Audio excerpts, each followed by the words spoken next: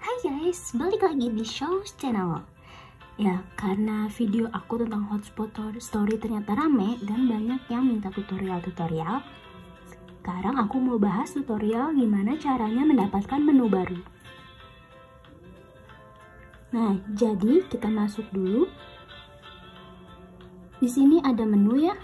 Nah, menu-menu di sini yang food ini kan banyak nih Oh, banyak yang belum didapatkan juga. Itu gimana sih caranya?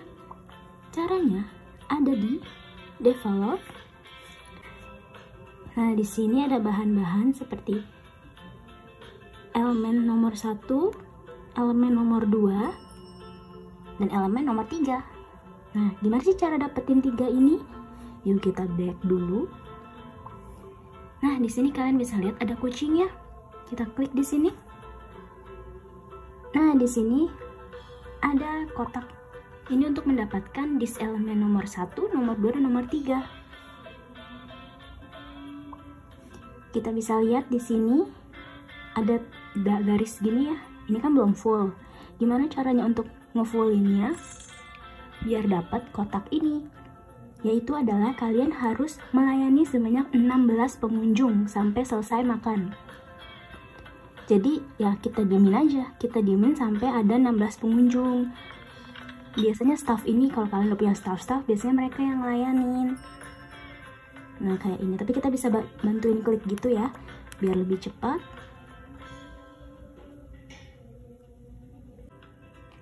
Oke, okay, sekarang kita udah memenuhi syarat nih. Udah 16 pengunjung yang datang ke resto kita. Akhirnya bisa kita klaim. Yeay, dan ini bisa kalian kalau punya kristal bisa dua kali klaim. Tapi aku satu aja. Oke. Okay. nah setelah mendapatkan itu kita ke develop ini. Develop. Nah aku udah ada dua nih. Jadi aku masing-masing kita membutuhkan satu. Aku coba develop satu dulu ya. Tada! Aku mendapatkan menu baru. Mari kita develop lagi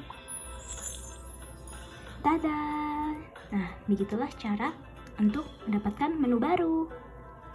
Oke, okay, see you next video.